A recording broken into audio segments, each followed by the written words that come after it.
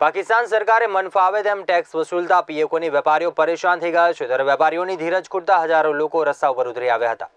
પીઓકેમાં પાકિસ્તાન વિરોધી પ્રદર્શન બંધ થવાનું નામ નથી લઈ રહ્યું અને પાકિસ્તાન દ્વારા આવેલા ગેરકાયદેસર ટેક્સના વિરોધમાં ગીરબાલિસ્તાનમાં ખૂબ વિરોધ કરાયો છે અને ધંધા રોજગાર બંધ રખાયા છે. વેપારીઓનો આરોપ છે કે તેમની પાસેથી વસૂલવામાં આવતો ટેક્સમાં વધારો કરાયો છે.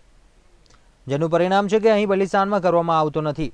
ઉલ્લેખનીય છે કે પીઓકેના વિસ્તારમાં ખનિજ પદાર્થોથી ભરપૂર વિકાસના કાર્યો નથી થયા.